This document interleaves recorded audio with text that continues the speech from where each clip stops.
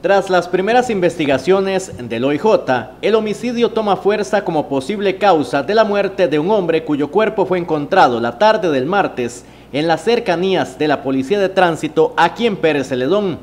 Según las autoridades, el cuerpo presenta lo que serían heridas de arma blanca, lo que aumenta la posibilidad de un delito.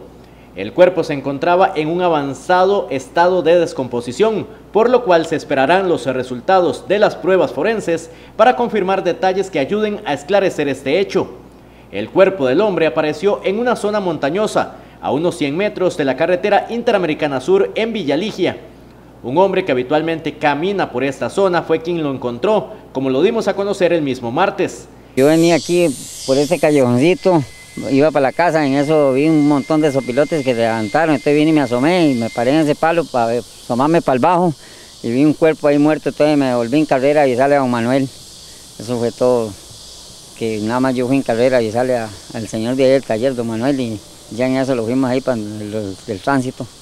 ¿Usted siempre habitualmente pasa por, eh, por este sector? Sí, siempre paso por ese callejoncito, sí.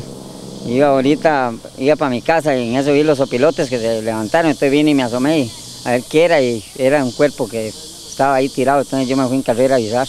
En las próximas horas se podría confirmar la hipótesis del homicidio como causa de este hecho.